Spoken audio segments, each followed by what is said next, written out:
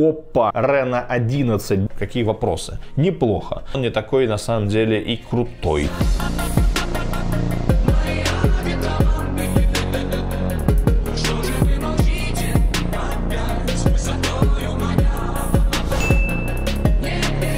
Привет, друзья, вы на канале Kik.ru, с вами Андрей, в руках у меня новиночка от компании Oppo. Это Reno 11 без каких-либо приставок, то есть есть еще, наверное, под позже у нас будет Reno 11 Pro, а, младших версий вроде у Reno нет, но Reno это средний класс линейки Oppo. Сегодня смартфон поэтому за небольшие деньги, но с симпатичным дизайном, ориентацией, как говорит сам а, производитель, на портретные снимки, поэтому основная камера 50 мегапикселей, Телефотокамера для портретных снимков 32 мегапикселя. Еще ширик, еще изогнутый дисплей, еще быстрая зарядка 67 ватт. Еще много интересных фишек, которые обещали вот в самое ближайшее время. В общем, сейчас подробненько, потихонечку про этот телефон поговорим. Посмотрите, сколько смартфоны стоят, в каких цветах есть подсылки под видео в магазине Qk, цвета всего два. Начнем рассказывать про этот телефон. Вопросы, как обычно, ждем в комментариях к этому видео в нашем телеграм-канале. Ссылочка тоже есть под видео, заходите и пообщаемся. Ну и про наш ежемесячный розыгрыш одного смартфона и множество промокодов. Условия все те же. Пишем комментарий содержательный по теме видео под этим видео.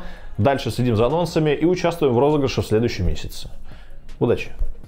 Итак, Oppo Reno 11. В данном случае Oppo Reno, давайте посмотрим, вот такой вот коробочки поставляется. У меня в зелененьком цвете есть еще в сереньком. И ну, как бы телефон сейчас мы рассмотрим подробнее позднее. Пока глянем на комплект. Ну вот, собственно, у нас вываливается сразу модуль на 67 ватт зарядки. Type-C провод здесь. Да, и чехольчик у нас в комплекте лежит. Посмотрите, причем какой неплохой, непростой чехольчик сразу с завода. Посмотрите, ну, вот зелененького цвета тоже такой. Хорошо садится, защищает сразу и дисплей, и при этом такой плотненький на самом деле. Типично такой небольшой, не тяжелый представитель среднего класса. На экране, кстати, у телефона сразу наклеена пленочка с загнутыми краями. Что касается дисплея, тоненький, очень легенький, задняя крышка пластик. Это прям вот четко ощущается. Но покрыть какое-то специальное пишет, поэтому на этом глянцевом пластике вообще не собираются никакие отпечатки. Отпечатки собираются, кстати, на модуле камеры, который сильно довольно наступает над корпусом. Здесь камера тройная, то есть э,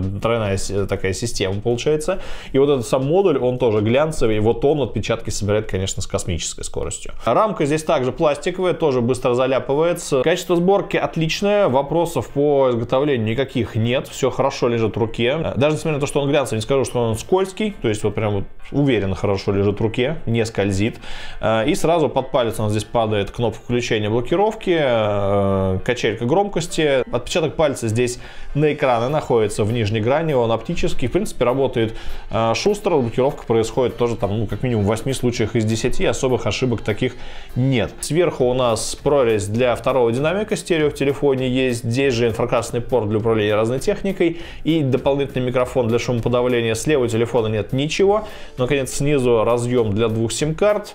USB Type-C с поддержкой зарядки 67 Вт в комплекте, микрофон дополнительный и, и основной динамик. А, с лицевой части у нас изогнутый дисплей, это как раз таки отличие Reno 11 от Reno 11F. С лицевой части ничего такого особенного, тоненькие рамки, маленький вырез под селфи-камеру и все.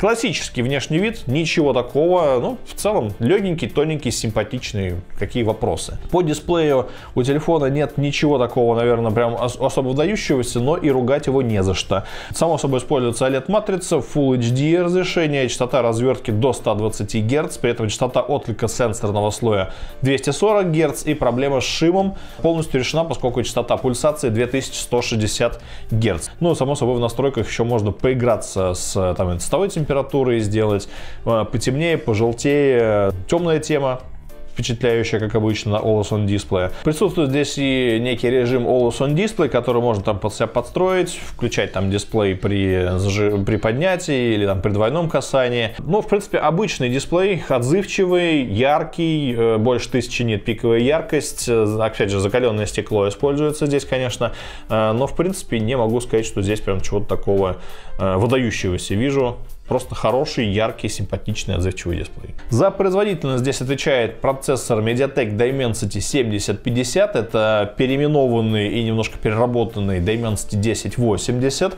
Оперативной памяти в Россию поставляется 12 гигабайт оперативной памяти и 256 гигабайт памяти встроенной. Производительность телефона высокая, этот процессор нам хорошо знаком, особых проблем с производительностью ни при использовании как рабочей лошадкой, ни даже при более тяжелых приложениях здесь никаких не замечено. Можно поиграть, можно поиграть сложные игрушки. Я запускал здесь и Genshin Impact, и те же самые PUBG на высоких настройках. В принципе, вот эти стандартные полмиллиона баллов, которые телефон набирает в Antutu, здесь и, э, наверное, являются очень таким показательным. Процессор весьма холодненький под нагрузкой, особых проблем с тротлингом тоже не замечено. Э, само собой, здесь смартфон, если и хотите поиграть, то не на самых высоких настройках это будет все работать, ну там средние скорее. Э, но, в принципе, сон это можно будет сделать с комфортом. Ну и для тех, кто не играет, что важно знать, оперативной памяти за глаза, она шустрая, опять же, сам по себе э, производительности телефона хватает тоже на все задачи. Мне никаких ни лагов, ни подтормаживания, ни фризов не было. В этом плане все у телефона с производительностью неплохо. За автономность отвечает батарейка на 5000 мАh. В комплекте зарядка 67 Вт. И телефон полностью заряжается уже от комплектного за 40 минут а за 15 минут уже наполовину. Скорость зарядки быстрая, но и с автономностью телефон на самом деле очень неплохо. Часов на 7, а то и 8 дисплея я бы сказал, что можно рассчитывать. Ну, 7,5 давайте так, наверное, оставим. То есть, э, в принципе, с автономностью телефона очень даже неплохо. Даже без э, переключения какие-то энергосберегающие режимы. С утра снял зарядки, фото, тесты, игры, видео. К концу дня осталось э, там около 30% заряда. Показатель неплохой. То есть, дня на полтора хватать его должно. Зато у этого телефона, конечно, очень большой фокус именно на камерах, и Oppo часто именно в своих смартфонах пытается фокусироваться на съемка портретов людей.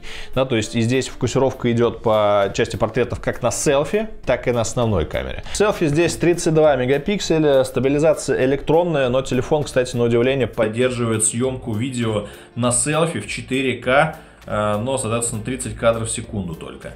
Э, можно и Full HD, но в целом, как по мне, селфи очень приятненькая такая, и звук хорошо пишет, опять же, здесь два микрофона. Full HD еще умеет в стабилизацию играть, и также и себяшка, э, то есть, если в 4К еще стабилизации никакой нету, то вот Full HD, пожалуйста. Ну, то есть, качество селфи камеры, как по мне, исчерпывающее, по ней же идет блокировка по лицу, но только при хорошем освещении работает нормально. Если говорить про основную камеру, то здесь это тройная система из трех трех модулей. Самый основной модуль 50 мегапикселей, модуль от Sony Lit 600 э, с оптической стабилизацией, на чем Oppo очень фокусировались еще в презентации самого смартфона, говорили чуть ли не вот этот модуль такой классный, топовый туда-сюда. Э, помогает ему впечатляющий, на самом деле, модуль второй. Это 32 мегапикселя, двухкратный оптический зум, телефотокамера как раз-таки для портретов. И, наконец, заключает э, всю эту систему 8-мегапиксельная широкоугольная камера, ну, соответственно, с модулем 0.6x. Обычная, достаточно 8-мегапиксельная камера, которую мы видели уже не раз. Oppo сейчас, как и многие другие производители, постепенно уходят в нейросетевое будущее, когда нейросети, алгоритмы особые с помощью там, интернета или встроенные какие-то помогают обрабатывать то, что видит перед собой смартфон. И это э, несет перед собой дополнительно интересные штуки, возможности, в первую очередь для нас, как потребителей, потому что улучшает качество снимков, делает более правильное, э, допустим, освещение, более правильные тона подбирает. И в том числе иногда может подбирать более удачные кадры. Фото возможности основной камеры, если честно, здесь меня несколько расстроили. То есть при хорошем освещении смартфон, конечно, показывает впечатляющие результаты по цветопередаче, по детализации. Придраться к телефону будет сложно. Другой вопрос, что, допустим, даже на каком-то контролом свете или где-то вот такие некоторые вопросы, где сложности бывают со светом, появляются уже небольшие такие вопросики по как раз шуму. И вот как раз, когда освещение падает, вечер, сумерки, ночь, полумрак в помещении, здесь, конечно, мы уже увидим, что модуль камеры именно основной, он не такой на самом деле и крутой. Или здесь еще не доработали что-то программно, или здесь оптика какая-то не очень дорогая, но, э, скажем так, Камера здесь, пожалуй, учитывая цену этого аппарата, основная, на 4 с минусом. И, может быть, ее как-то еще подтянут, именно вот эту обработку, в том числе нейросетевую, до четверочки. Но, если честно, я не вижу здесь, э, чтобы она была там явно прям вот какой-то вау-вау. Но здесь мы как раз должны сделать паузу и вспомнить, что производитель-то нам написал эксперт в портретной съемке. То есть здесь у нас, напоминаю, вторая камера интересная. Во-первых, это двухкратный оптический зум, что для среднего класса не так часто встречается еще. А, во-вторых, э, портретная съемка. Да, то есть фокус может быть на ней. Я сделал несколько портретов, меня поснимали, я поснимал. И вы знаете, в целом с портретами телефон действительно справляется симпатично. Ну, то есть, э, опять же, не на уровне там флагманов реальных, но это смартфон все-таки среднего уровня.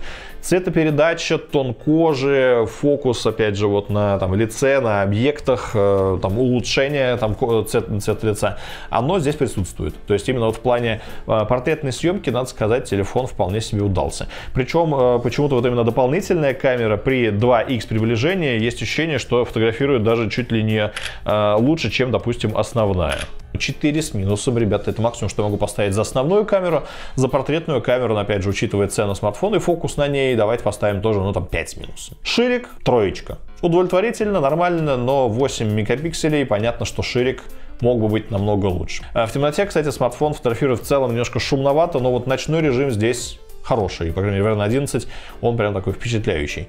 А, видео тоже похвалю, есть э, Full HD со стабилизацией, есть 4К без стабилизации, но попытка стабилизировать тоже есть, но картинка симпатичная. В 4К прям вообще очень классненькая, хорошо пишет еще звук, а, поэтому по части видео, опять же, не откровение какое-то, но такое, ну, уверенную четверочку тоже смартфон э, видео записывает. В Reno 11F фокуса именно на портретные съемки меньше. И именно при сравнении портретов, несомненно, Reno 11, вот эта вот портретная камера дополнительная, он получше. Но вот основная камера лично мне больше понравилась на 11F. Говоря про звук, мы в первую очередь скажем, что разъема для наушников здесь нет, поэтому или беспроводные наушники, или переходничок USB Type-C, а вот стерео в телефоне присутствует. Стерео неплохое, не могу сказать, что прямо она какая-то вау-вау, но в принципе, знаете, как наличие стерео всегда лучше, чем его отсутствие, поэтому, допустим, при прослушивании музыки чувствуется, что смартфон звучит вполне неплохо, так резонирует, а, немножко не хватает басов, но в целом какую-то совсем простенькую колоночку явно телефон может заменить. А вот Vibro совершенно простая, Ничего про него говорить не буду, оно как бы есть, э, звонок не пропустите по силе, но вот именно такого постукивания какого-то здесь вы не замечаете. Две сим-карты, GPS, GLONASS, NFC, никаких проблем с этой связью я не замечал. Что касается прошивки, то, конечно, все работает на 14 андроиде, оболочка своя собственная Color OS 14 версии, ну, подробно наверное, не буду останавливаться, здесь множество предустановленных приложений каких-то, которые можно спокойно удалять. Тот же самый Netflix зачем стоит, не понимаю. А вот Google, Яндекс карты, ну, спасибо. А, какие-то игрушечки предлагают поставить, Get Contact, вообще собирающий информацию, тырящий ее, почта, Mail.ru и так далее. Ну, в общем, это все можно подалять. Есть инфракрасный порт для управления разной техникой, и здесь сразу приложение даже для этого присутствует, Air Remote. А, но в целом прошивка работает шустренько, стабильно, есть свой магазин приложений для скачивания чего-то, чего нет, допустим, Google Play. А, у меня особо вопросов к смартфону в данном случае-то и нет. И более того, приложение в системе Oppo в том числе продолжает развивать, нейросети все более плотно интегрируются в нашу жизнь. И вот, а, в принципе, там у Samsung, у там, Apple, у смартфонов дорогих откровенно анонсировали еще некоторое время назад э, возможности, они уже работают, удаление объектов прямо с фотографии. Да, то есть эти, в принципе, уже умеют делать отдельные нейросети, но чтобы это в телефоне буквально в один-два клика делалось, такого как бы особо нет, особенно в среднем классе. И вот именно для Oppo Reno 11F э, и 11 э, анонсировали, что буквально в течение там месяца-двух появится эта возможность в галерее. И я сейчас не покажу вам на этом телефоне, но у меня мой телефон, это тоже смартфон бренда Oppo. Вот мы сейчас взяли, сделали фото нашего Павла, красавчик, Удаление с ИИ. Дальше мы Пашу вот так вот обводим. Делаем щелчок пальцами, как Танос. Паша растворился. Здесь немножко грязновато получилось, потому что, ну, слишком близко стоял, занимал большое пространство. А так вот эта нейросеть, она закрашивает, докрашивает, дорисовывает объекты в соответствии с фоном. То есть она понимает, что вот здесь был стол, а вот здесь стена начинается. И она его тоже зарисовывает. Очень прикольно, на самом деле, штука. Вот именно вот это удаление с ИИ от Oppo. Я на своем телефончике это иногда использую. И что важно, это придет в средний класс с Oppo Reno. Да, то есть мы это увидим наглядно и сможем использовать. Это правдиво еще раз и для 11 Oppo Reno, и для 11F. В самое ближайшее время появится. Кого-то, может быть, и заинтересует. Смартфон получился таким понятным, ярким середняком. Симпатичным, с изогнутым дисплейчиком, дизайном, Э, производительность хорошая, автономность хорошая, зарядка быстрая, очень классная, конечно. Но при этом он не выделяется э, вот по сумме вот этих всех вещей ни перед кем из конкурентов. У него две фишечки важные, которые могут как раз-таки вас очень заинтересовать, и они действительно могут быть интереснее, чем у конкурентов. Тот же самый портретный режим, портретная камера да, двухкратная, с этими нейросетевыми модулями специальными для улучшения действительно портретов. Насколько для вас важны портреты, это другой вопрос. Ну и еще вот этот дополнительный прикольный модуль с нейросетевым удалением объектов. Да, то есть это же первый шаг только. Да? Дальше мы, я так думаю, выйдем на что-то более интересное. Может быть, автоматическое улучшение улучшение уже нейросетью, а не какой-то там встроенный э, модулем камеры, который не такой эффективный, как нейросеть. Не знаю. Но фактически надо понимать, что это все-таки середняк и по производительности, и по автономности, там, по камеру и так далее. Дальше уже надо думать вам, как обычно. Потому что, понятно, конкурентов этого телефона в этом сегменте ценовом много. Кто-то более производительный, но хуже с прошивкой, хуже там с э, камерой, допустим, портретной камеры фишечки нет, нейросетей нет.